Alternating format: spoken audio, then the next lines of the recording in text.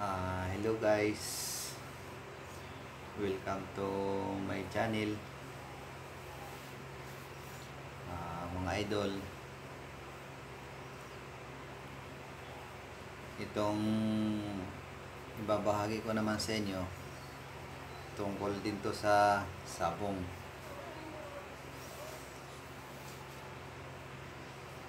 Ang ano dito sa sabong, pag kayo nagsasabong sa mga sabungan or sa tupada-tupada lang, kailangan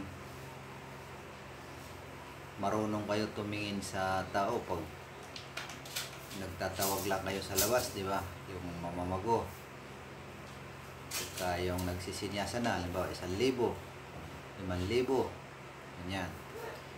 Kasi may nag-request sa akin na viewers ko, subscriber ko, tinatanong nila sa akin kung ano raw yung tagos na sinasabi. Ito ngayon, ibabahagi ko sa inyo ang pamamaraan sa pagpupusta ng tagos. Pagka halimbawa ang bibitaw ng manok, siyempre meron, wala, wala, meron, meron, meron, meron. Yan. Pagka nasa loob kayo ng sabungan, sa taas, ang diskarte niyan, ba, dalawa kayong magkakasama, kasi lahat naman ng magsasabong, grupo-grupo yan. Hindi dalawa, tatlo, yan, apat. Eh, may modus din yung mga yan eh. Lalo yung mga kresto-kresto sa sabungan. Pag akyat yun niya sa taas, halimbawa, may ano sa taas, di ba? May mga upuan. Hindi magdidikit-dikit yung mga yan na magkakasama. Parang iipiting kayo niyan. Halimbawa, dalawang pagitan, tatlo. Sigaw ngayon yung meron, meron, meron, meron, meron. O, magkakapastahan na. Meron, meron, meron, meron, meron. O, liman libo tayo, liman libo. Halimbawa, ikaw katabi,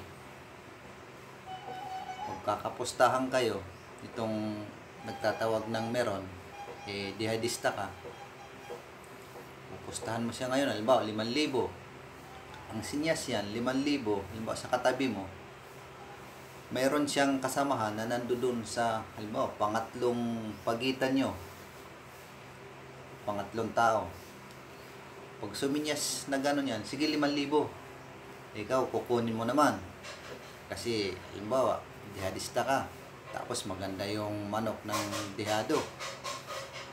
5,000. Pero yung sinyas niya, padudulasin lang sa'yo yan, 5,000 ganyan, yung sinyas niya sa kamay. Sisinyas din yun doon sa kasamahan niya. Magpupustahan sila kunwari. Yun yung pamamaraan ng tagos. Pag lumabas ngayon yung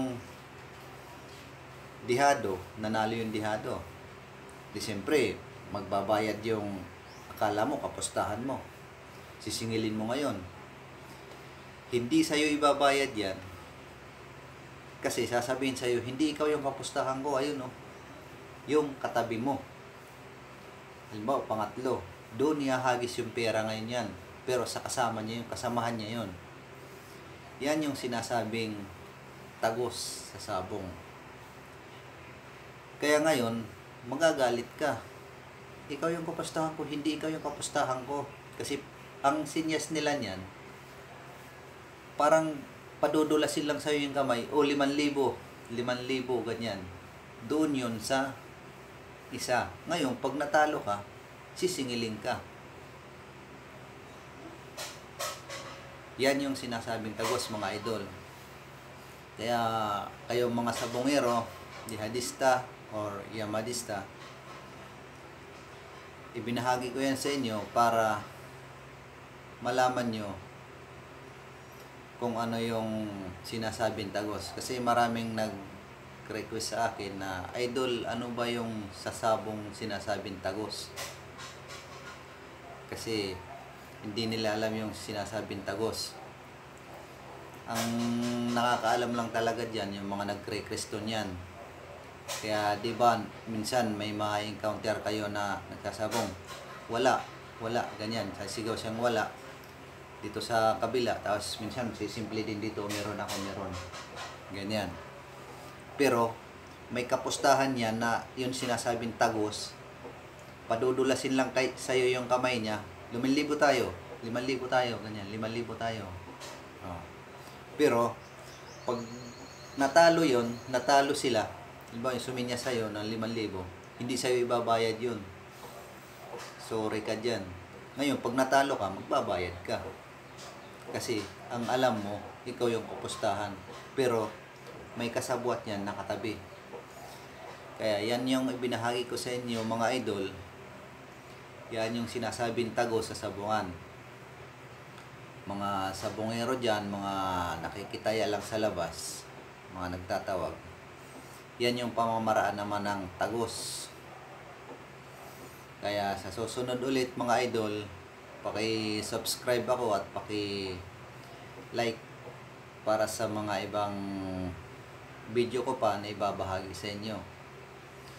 Sa susunod ulit mga idol.